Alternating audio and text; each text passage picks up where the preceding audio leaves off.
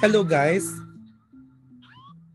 Today we're going to be continuing with our discussions on pop music, but for the past few meetings we've been focusing more into the lyrics into the into the narratives into how the artists express or the songwriters express and turn these ideas or feelings or emotions into something that you can that you can listen to or the, something that you can accompany with accompany with music. So pop music is something that's really very interesting.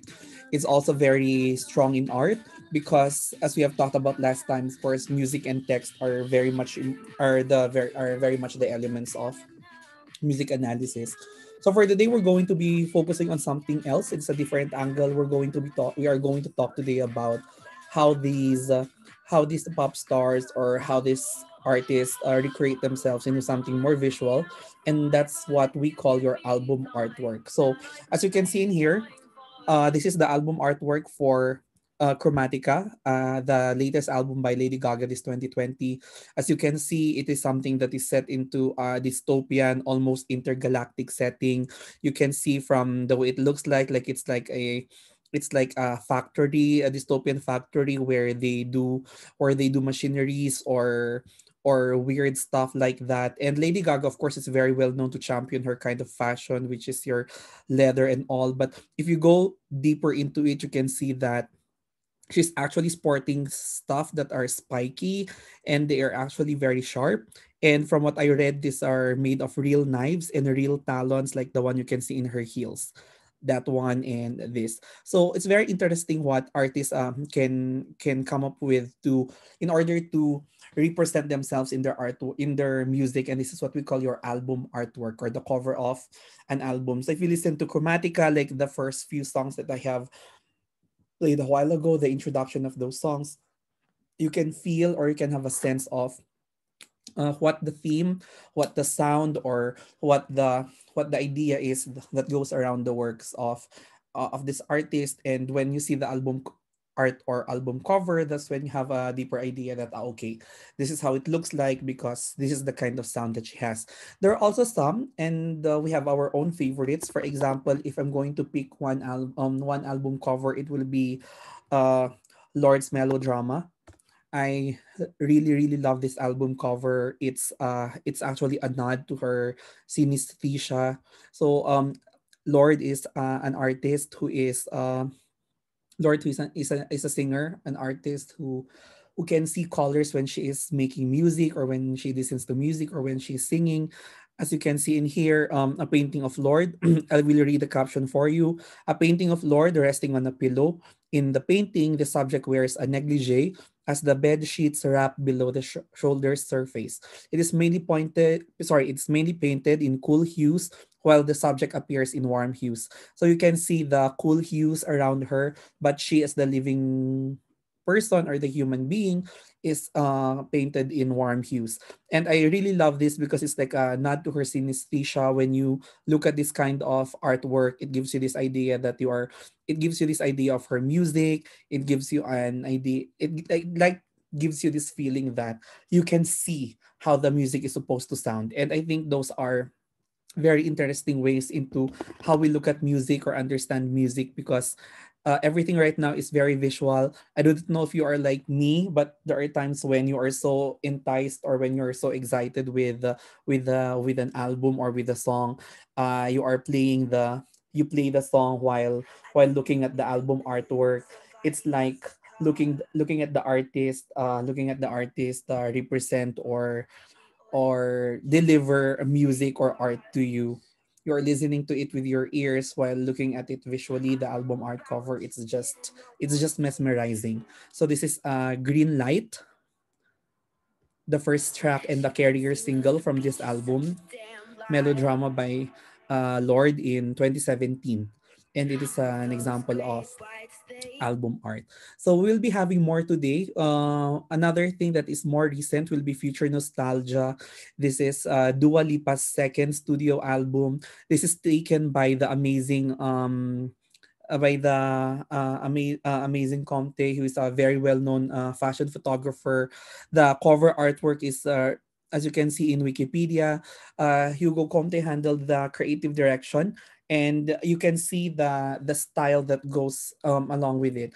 And um, i really love this i, I really love this uh, i really love this uh, this uh, album artwork because it just puts together uh, a lot of a lot of different things at the same time. We've talked about photography but not in detail. But hugo comte is uh, again for me uh, just a personal favorite. That's why I would just love to share it with you. Hugo Comte is very well known in fashion for his uh, for his pictures that look like this. Um, these are photos that he took for um, W South Korea, where they featured Kendall Jenner, you can see it's uh, almost bigger than life like the background. I, I love the photos of comte because it shows it, it gives you this impression that the person is like very big and the person is very much in control of things around her or him. And the things that are um, around him or her are quite smaller. So it gives more focus into the person giving the person a uh, a stronger power or a stronger presence when you look at the person in the in the photo shoot or in the snap or in the snapshot. Here are more photos of her, Kendall Jenner in uh, in W. But my favorite shoot by Hugo Comte is by uh, uh, Lila Goldcool. You can see that in uh, Vogue Italia. Ito yung sinasabi ko, just look at that. Um, you know, you know that her surrounding is very vast but if you look at the model or the person or the subject it looks the it looks like the bigger or the the it looks like a a magni a magnified image of a person. Look at the look at the scale. Look at how huge the person looks like in contrast to the background or in contrast to those uh, tennis balls and those um, and the and the cooler. It's just very interesting. And i love how uh comte was able to deliver this in future nostalgia by Dua Lipa because Dua Lipa's sound has emerged something into more discotheque, uh, something more more more vibrant. It's like uh, it's like a party that's ongoing, a party that never stops. It feel it gives you this impression of a club. Uh, I do not know if you also love uh if you love dancing. Like I mean, I've been there also. I mean, of course, I was a college student once. It was you know these are the kinds of parties that just go on and on, and uh, you know even if you don't have a drink anymore, it just sizzles. And uh, it's a celebration of really fabulous things. You know, this new album by uh, by Dua Lipa, which is Future Nostalgia, and it's one of the works that are uh, being in the rounds right now for winning um, for not being nominated for a lot of awards. And i think it was it was properly documented in the album artwork you know Dua Lipa with the moon behind her she was driving. And then the way she the, her fashion the way she looked like it was very it's very discotheque very vibrant and uh, very strong. So this is the beauty or this is the power that an album artwork can bring or can deliver when we are listening to music or when we talk about music okay?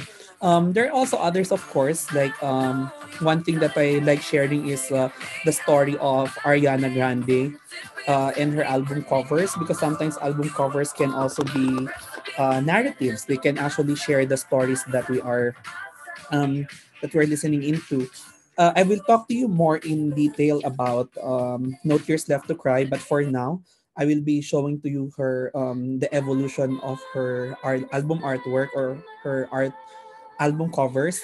You can see very apparent from the first three that uh, uh, you know we can see Ariana, and then it's actually in black and white, uh, very sensual uh, this uh, very amazing singer who started out as a cat, um, as cat the character, but she grew up into someone who is more who is actually very talented and she's actually a diva.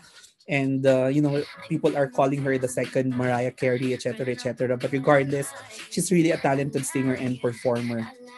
And if you see in the first three, it's really just in black and white.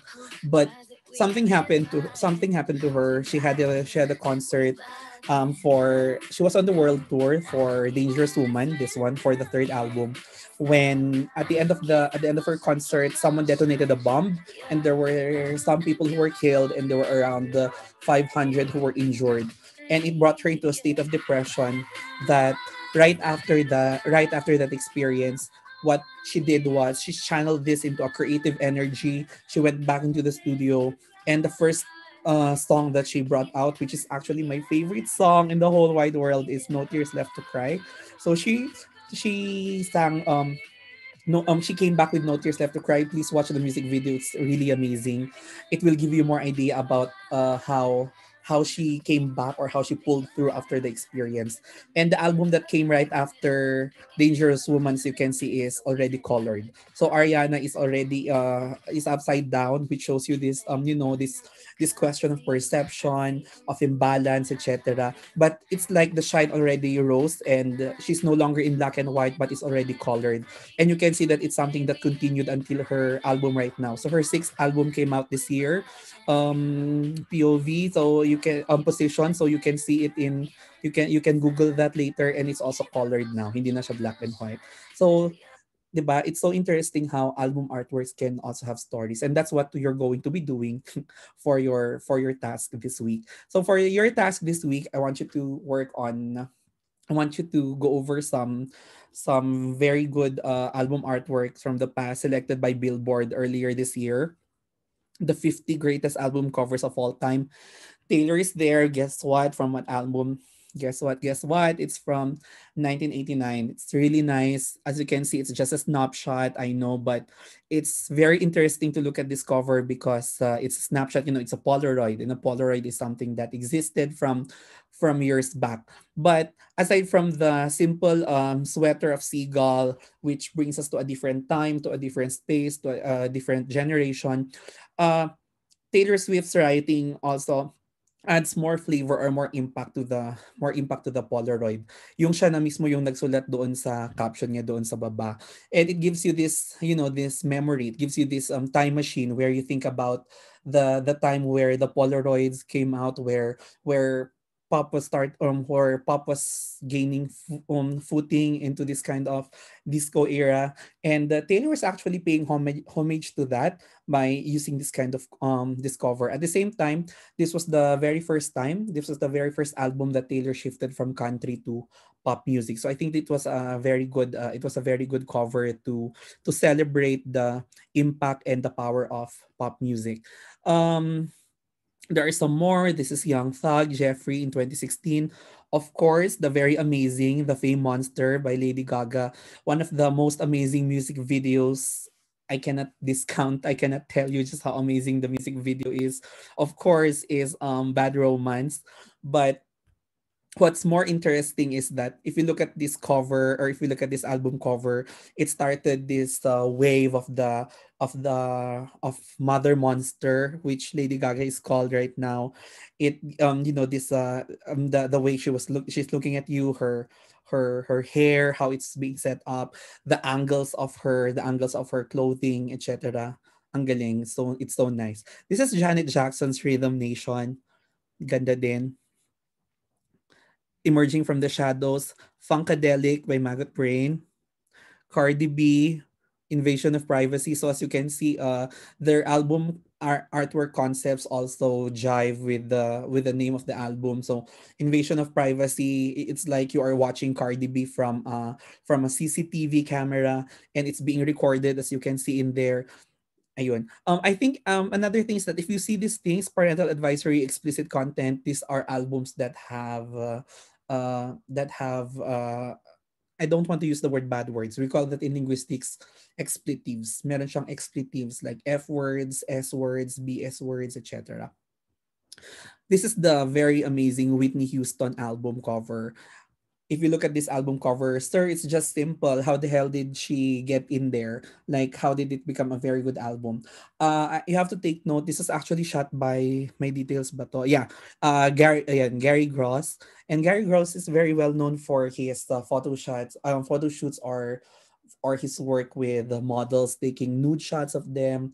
You know, it's a celebration of femininity, celebration of who and what you are.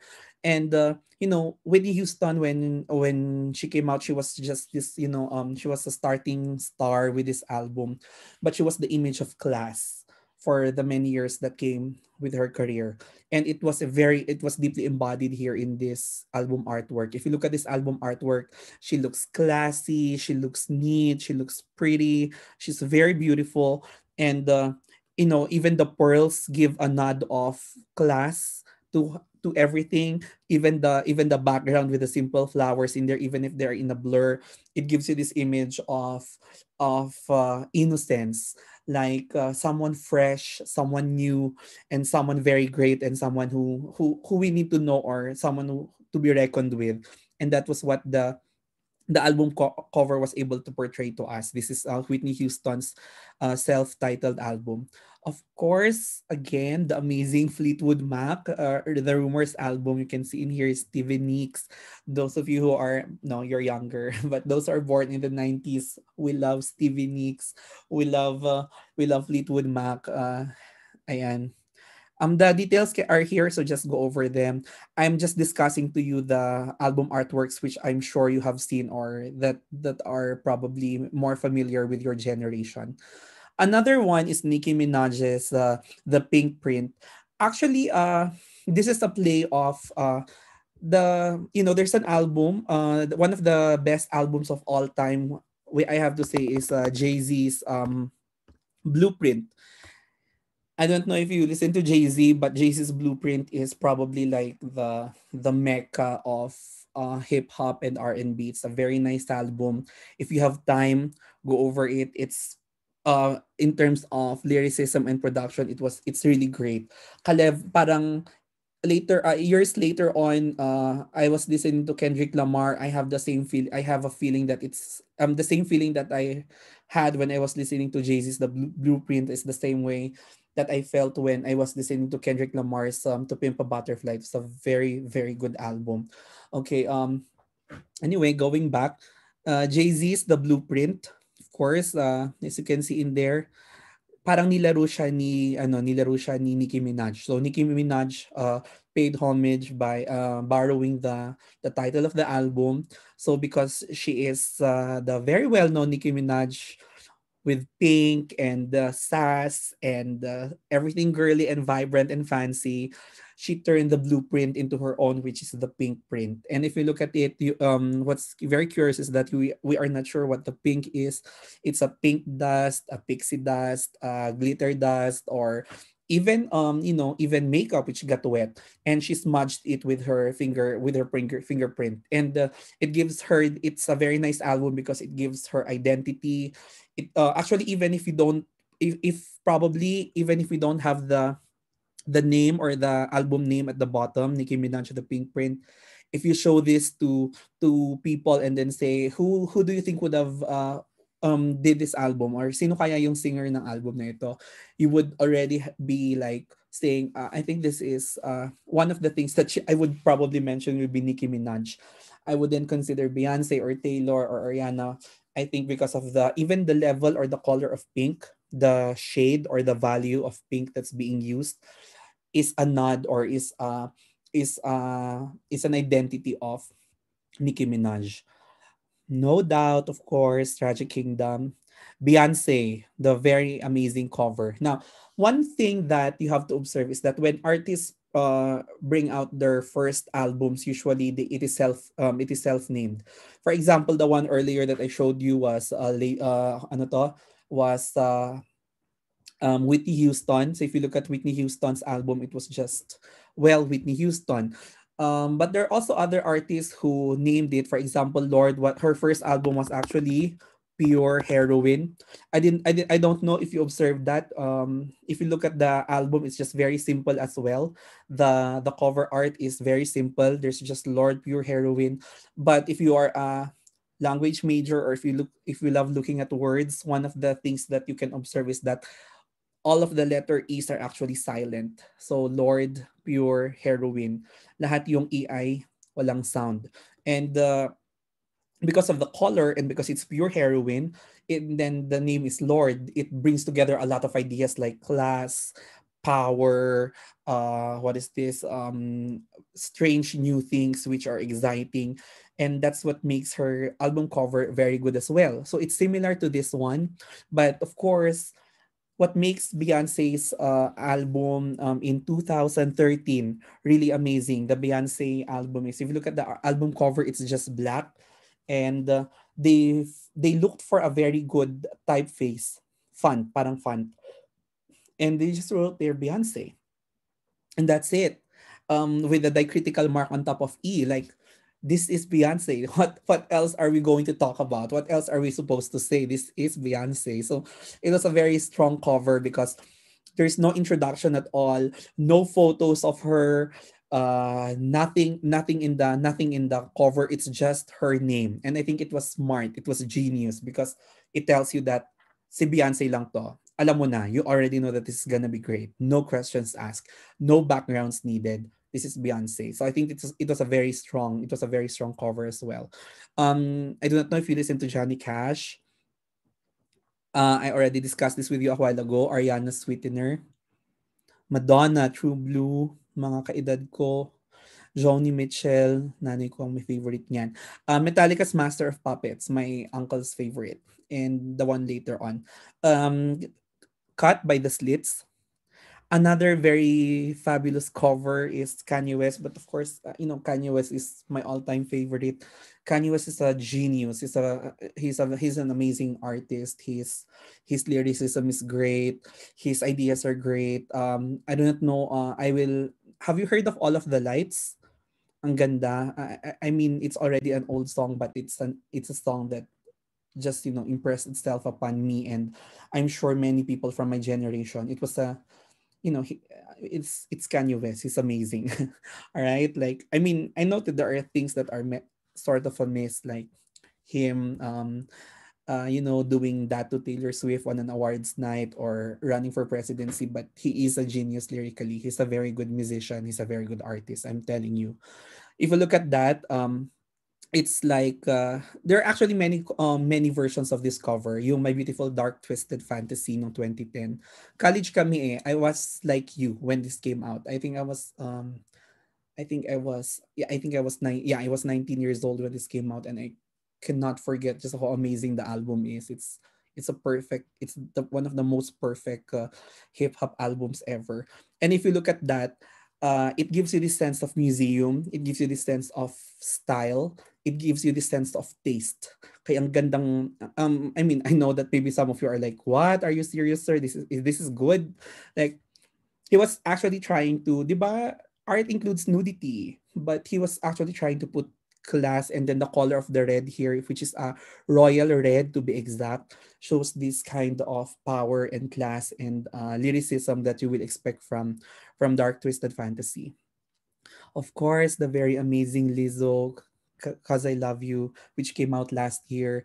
Lizzo's album is so powerful. I do not know, especially those of you who are in the same adv- advocacy as I am, um, body positivity. I think this is the perfect album cover that brings brings out this idea of body positivity. It's just Lizzo looking at you just naked with her long hair flowing behind her she was she was caught in a moment she's just looking at the camera she's relaxed and it's like she's ready to be the great pop star that she's uh, destined to become uh, never mind the Bollocks. Here's the Sex Pistols by the Sex Pistols. Um, FKA Twigs. Of course, the amazing Aretha Franklin. Bruce Springsteen. Janis Joplin ano to no um my I have I met uh, I met a writer from before who is in love with Janis Joplin like the same way that probably um as a researcher I was in love with Taylor Swift's work. And he was telling me all about the work of Janis Joplin and how you know because Janis Joplin died at 27 and I was 27 when he was telling me the story. I was like ah that's just that's just a very sad story. But you know, um, ang, ang ganda daw talaga ng lyricism niya. Like, really iconic. Um, Grace Jones, Island Life, David Bowie, Rolling Stones, Miles Davis, of course, the amazing Drake. If you are reading this, it's too late. Um, how do you, why is this uh, why is this a very good cover? If you're asking, let's read the I'll, I'll read you the caption.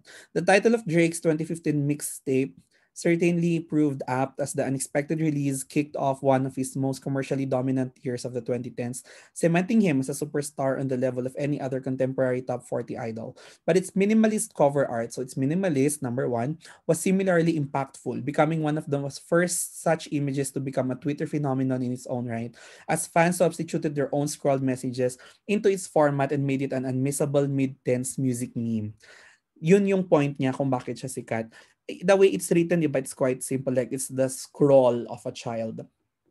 And uh, in Twitter, or I remember even in Instagram, they were mimicking this. So they would be create um they would be putting different words, but they will follow the ti- the font and the way it was the style of how it was presented. So it became very recognizable. That's the point. Kaya siya great cover because it is recognizable. Whatever culture, wherever we are, it's recognizable. This is the Drake album. If you're reading this, it's too late. Um, Duran Duran. Have you seen this in t-shirts? Nakita nyo yan sa t-shirts or posters. That is Joy Division's Unknown Pleasures. Okay, uh, it's a it's it's goth. Um, I don't know if you've heard of ano of Judas Priest. The Roots, Santana, Si Santana siguro, ito yung ano, um, mga parents niya, I think. The Clash, Nas, uh, Blink-182. Blink-182 song. Do you remember from, ano, from, from the Chainsmokers song? Yan yung album. I told you, one of the best, Kendrick Lamar's To Pimp a Butterfly, not just the visuality of it, but God. I, I I'm telling you right now, if you are not doing anything and if you want to like exercise your brain or just relax a little bit, and you haven't heard of Kendrick Lamar, it's time to download him in Spotify or uh, listen to him on Spotify or iTunes. Uh, I, um, you also go over his lyrics. He's an amazing, amazing artist. Bata pa siya, pero ang galing niya. He's, he's like a young Kanye West, a young Jay-Z really powerful really powerful singer Hole uh, of course the Beatles Sgt. Pepper's Lonely Hearts Club Band ito yung you go if you are um, we don't have enough time and you know it's not part of the syllabus but go online and uh, google um, the Beatles conspiracy and then you copy this Sgt. Pepper's Lonely Hearts Club Band yung there's ayokong spill. You have to watch it so that you will be very interested. There is one among the four Beatles members who was known to be dead and he was replaced here. And the meanings are circulating here in this album artwork. Just go online and Google and YouTube that. I'm telling you, one of the best probably 20 minutes of your life listening to, uh, to a conspiracy theory that sort of fits together. but of course, it's not true um, Elvis Presley, again, another, this is an example of a self-named album, diba? So the name of your album is also your name as an artist.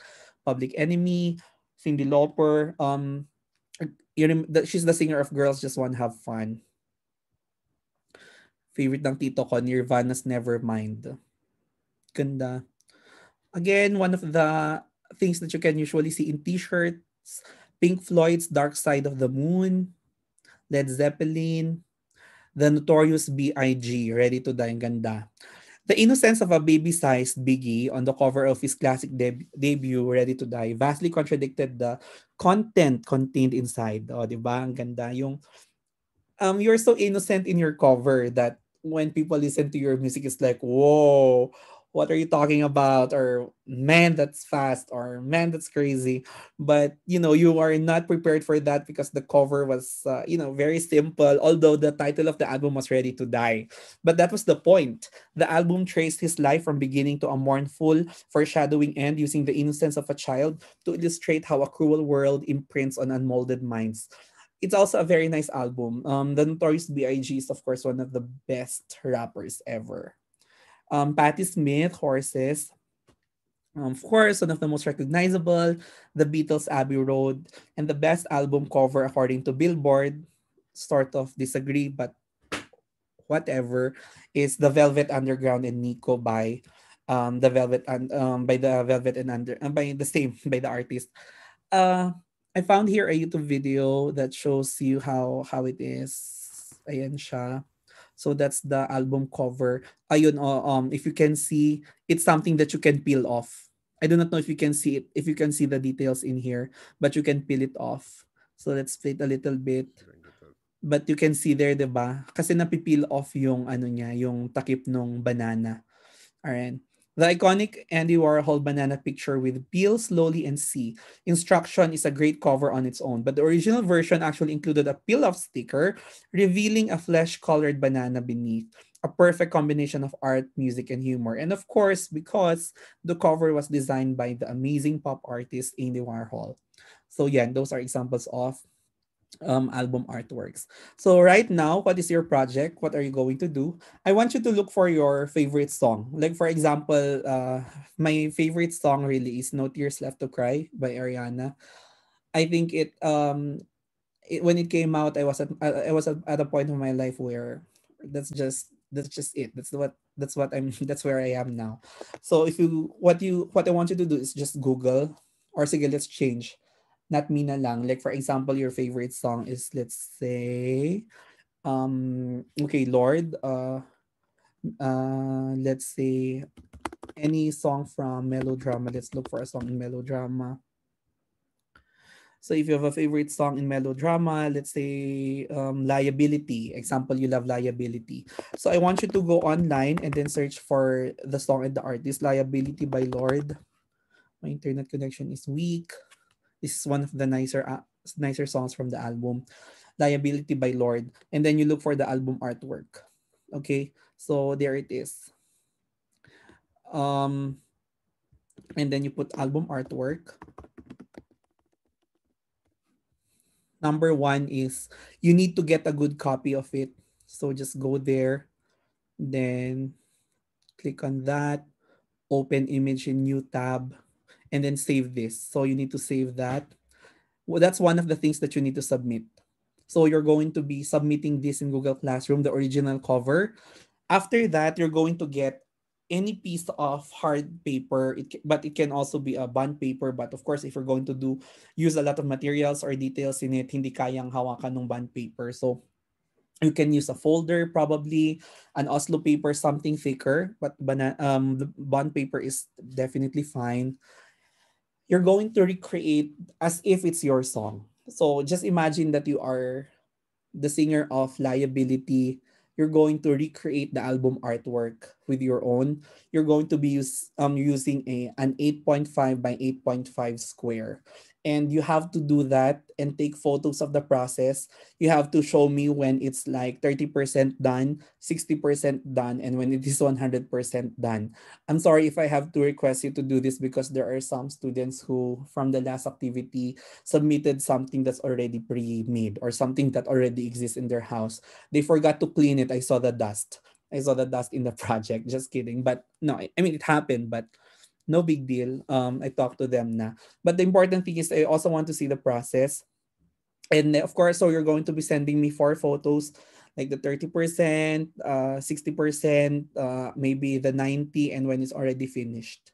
So uh, it's just uh, you're going to be recreate you're just going to be creating your new album art cover. It, it's going to be for your favorite song by that artist. So I also need to I I, I want to see how creative you can be. Text or no text um it can be images or it can be uh it can be you can use any medium you want as long as it is not rendered online. So i'm sorry i will not allow you to use photoshop or anything. I want you to do this by hand. It's also a very good um escape for you or practice because you've been working online. So i think it's going to be a nice practice to work on paper this time para di na kayo masyadong namang na napagod at naloka sa online sa online tasks ninyo. All right, so this is going to be worth 40 points. So do very well. That's going to be your submission. You're going to be submitting to me either a scanned or a photographed uh, a photographed um, photographed uh, copy of your album artwork. All right. So I'm going to see you and uh, that's all for today. Have a great day, everybody. Take care.